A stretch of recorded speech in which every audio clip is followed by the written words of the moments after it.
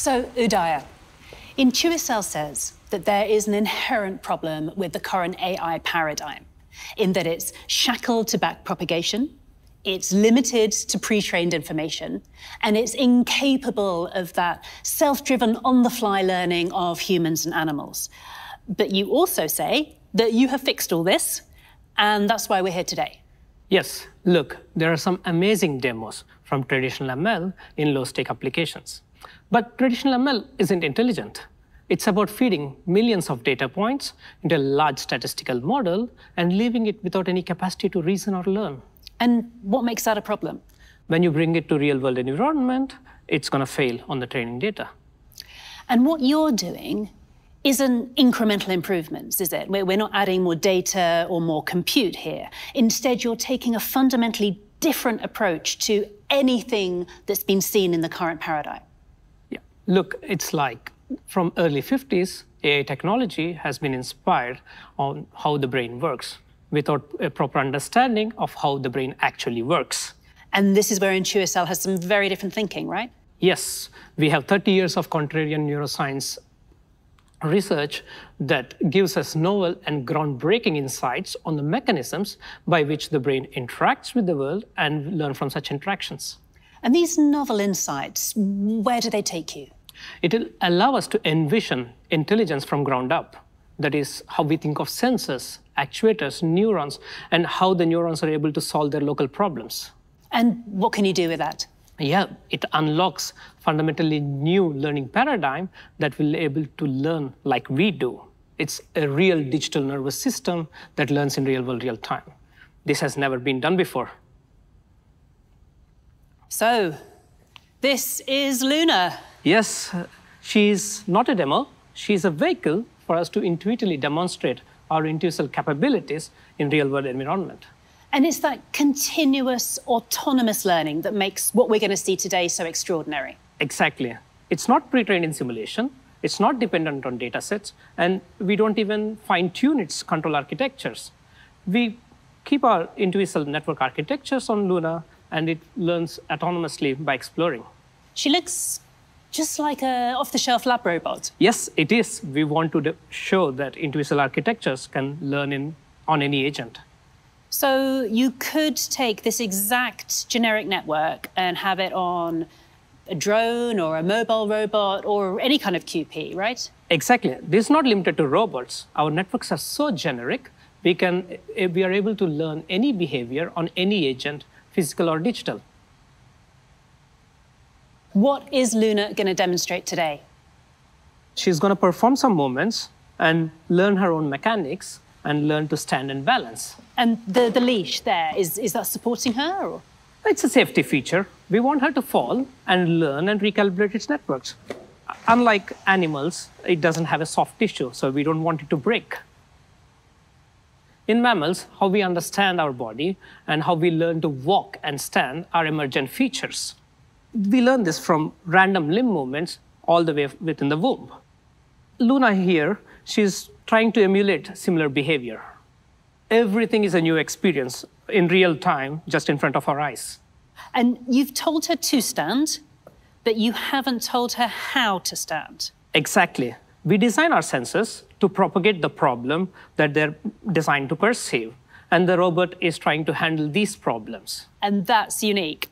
Yes, Exactly. We did not predefine any mathematical model explaining the robot its configuration, or neither we have a global cost function telling precisely what to do.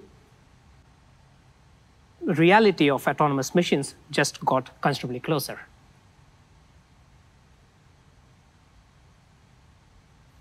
There you go.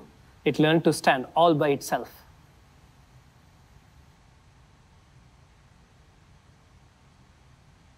What have we got here? We are going to give her a new terrain. It'll show how she can generalize for novel scenarios. And if this was traditional ML, this would be where we would go offline, retrain, and then come back, right? Yes, but this is a new learning paradigm that enables intrinsic learning, similar to how we learn with real world interactions, continuous learning, and adaptation. So uh, are we about to see the next generation in AI here? No, this is not next generation AI. This is the first generation of genuine intelligence.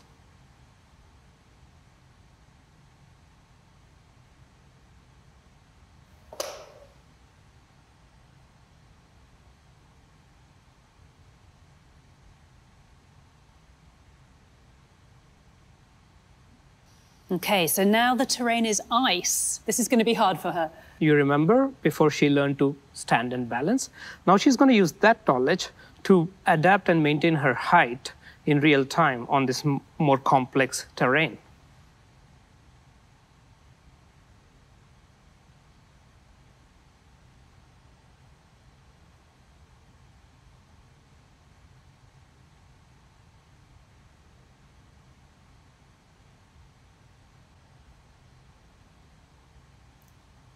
So you've given us this incredible world first, but what we all want to know, of course, is where does this actually take us? Yeah, now we've made intelligence a starting point rather than the end goal.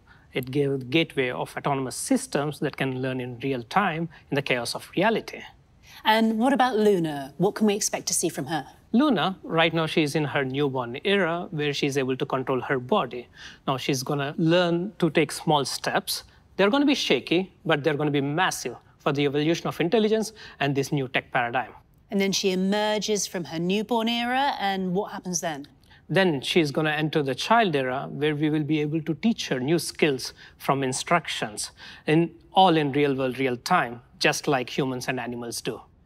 You'll want to see it. A Swedish startup, Intuicell, has introduced its robot dog named Luna, equipped with a digital nervous system that mimics human learning. The new approach could revolutionize the field of robotics. A European AI startup has introduced its robot dog named Luna, equipped with a digital nervous system that mimics human and animal learning. Developed by Swedish company Intuicell, Luna stands out as one of the first applications of physically interactive AI. The technology allows Luna to make decisions, adapt, and set independent goals just like a real dog. Intuicell will use a model based on traditional large datasets and generative AI to teach the robot dog to learn in a way that is similar to how neurons process information. The company plans to hire a dog trainer to teach Luna to walk.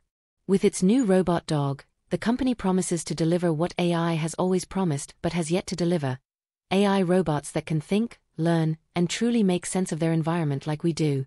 Robots that can learn by natural instinct, like humans and animals instead of being fed synthetic data. Inspired by living evolution. The most advanced intelligence is not artificial, but biological intelligence that evolves in constant interaction with nature. Living things learn by constantly processing sensory input, turning every experience into a lesson in intelligence. According to the company, for the first time since biological intelligence emerged 600 million years ago, this concept has been translated into software. As a result, a fully autonomous digital nervous system has been developed that learns by interacting with its environment, like humans and animals. Unlike traditional AI, this system does not require any pre-training or extensive simulations. The company applies a learning approach that mimics human and animal behavior in robots.